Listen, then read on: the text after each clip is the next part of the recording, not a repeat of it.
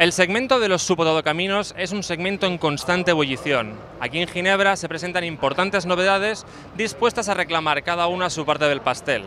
Empezaremos este repaso con el nuevo Honda HRV, el que tengo aquí detrás mío y que se presentará en muy pocos minutos.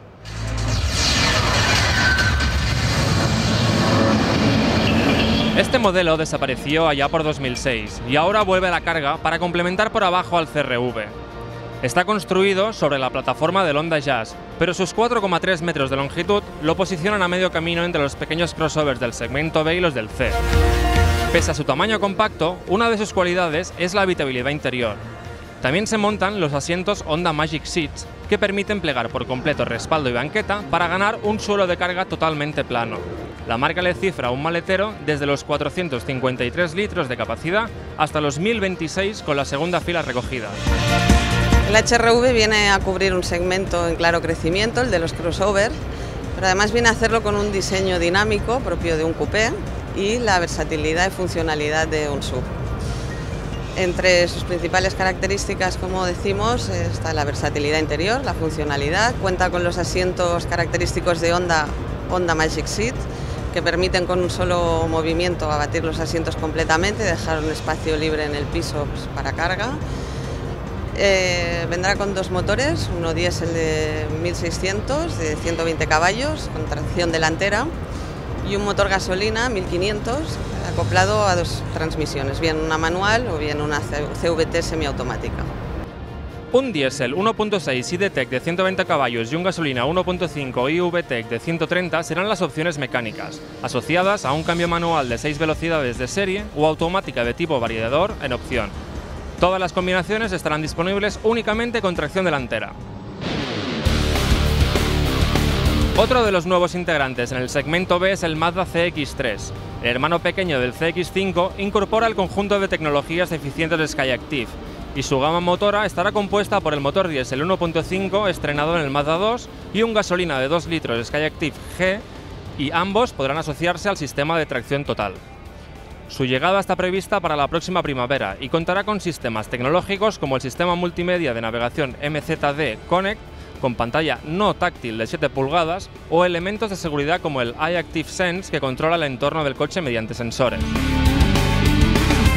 Tras la renovación de los modelos Corando, Rodius, Rexton y Action Sports, la marca coreana SsangYong amplía horizontes con la llegada del Tivoli, un pequeño todocamino para complementar su gama de modelos. Adopta la filosofía de diseño Nature Board 3 Motion presentada en París con los concepts Ship Air y Ship Adventure, y su carrocería será personalizable en cuanto a tonalidades bicolor. El interior recuerda ligeramente al del Corando en diseño y aporta un nivel de acabado y detalles bastante bueno, su orientación urbana prima antes la habitabilidad que el maletero, el cual nos parece a simple vista un poco pequeño. Con el SsangYong Tivoli terminamos el repaso al segmento B y nos vamos con el Renault Kadjar para descubrir las novedades en el segmento de los subcompactos. Presentado hace apenas unos días, el Renault Kadjar llega al segmento de los crossovers compactos como una apuesta sobre seguro, desarrollado sobre la plataforma modular de la alianza Renault-Nissan, se posicionará como uno de los rivales más fuertes para el referente Qashqai, con quien además comparte todo lo que no está a la vista. Es 7 centímetros más largo que el modelo de Nissan, un hecho que le permite aumentar ligeramente la capacidad de carga frente al japonés. Hablamos de 472 litros y un interior con una habitabilidad generosa para 5 ocupantes. Bueno, lo primero que es eh, un vehículo totalmente fabricado en España, lo vamos a fabricar en nuestra factoría en Palencia. Y segundo, que es el primer crossover que Renault tiene en el segmento C, lo cual también yo creo que es importante porque nos estrenamos en este mundo de los crossover en este tipo de, de segmento. Y tercero, yo creo que lo que hay que ver son dos elementos. Lo que es el elemento estético, el elemento diseño, es un vehículo muy, muy atractivo y lo segundo que hay que ver también es la parte interior, que es un vehículo totalmente eh, realizado pensando en el confort de los usuarios, ah, con elementos que eh, yo diría ayudan a la vida a bordo, ayudan a la conducción, mejoran la seguridad del usuario y sobre todo permiten tener un confort de, vida a bordo, yo creo que más alto, al más alto nivel entre todos los competidores. Mitsubishi nos muestra su opuesto de futuro en formato concept se trata del XR-PHEV2 Concept, un anticipo de su próximo modelo híbrido enchufable de dos ruedas motrices. Este modelo está impulsado por un motor eléctrico de 163 caballos encargado de mover al vehículo. Cuenta además con un motor de gasolina que actúa a modo de generador de energía para alimentar las baterías, muy parecido al funcionamiento del Opel Ampera o del BMW i3, aunque también puede ayudar al motor eléctrico en tareas de propulsión como un híbrido convencional.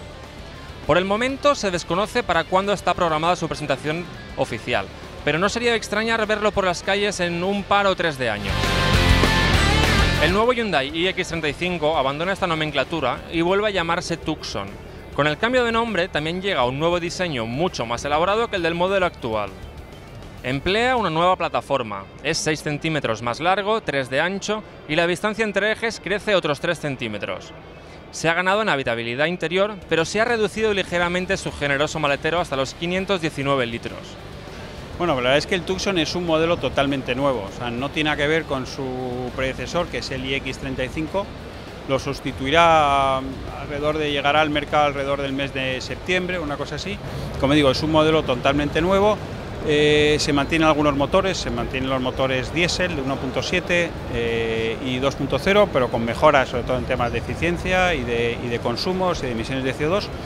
Hay un motor nuevo que se añade a la gama, un motor de, inyección directa a gasolina y bueno, y el coche que es no tiene que ver con el con el X35, es un modelo totalmente nuevo, cambia por el exterior, cambia el interior, crece un poquito en, longitud, crece un poquito en anchura y baja un poquito en altura con respecto a un iX35.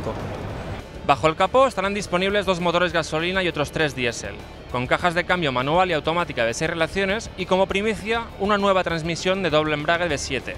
Todas las versiones serán tracción delantera, excepción del diésel más potente que contará con tracción total. Terminamos con el segmento de los subcompactos y nos vamos ahora con los derivados de modelos de serie con un aspecto un poco más campero. La nueva generación del Passat, que precisamente acaba de ganar el premio al mejor coche del año, se atreve nuevamente con la variante All Track del familiar, que ya se aplicó sobre el modelo anterior. Como en aquel entonces, la altura libre del suelo aumenta 2,75 centímetros.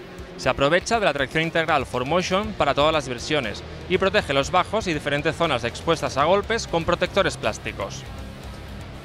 El interior recibe también una decoración específica con ciertos elementos que le ofrecen un aspecto más robusto.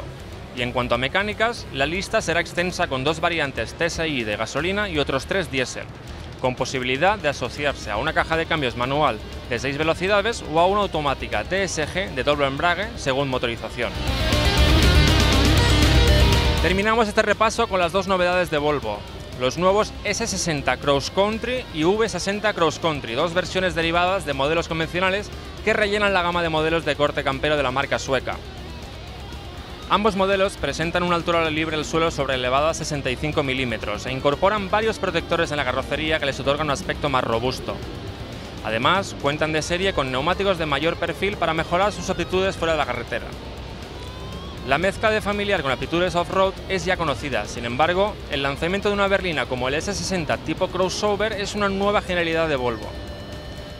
Por su parte, para el V60 Cross Country se han confirmado dos versiones de 5 cilindros en línea, un gasolina de 250 caballos y el diésel de 4, ambas disponibles con tracción integral y versiones de 4 cilindros Drive de gasolina y diésel con tracción delantera. Y con estas bonitas vistas despedimos este vídeo al repaso de los subs y todo caminos presentados aquí en el Salón de Ginebra.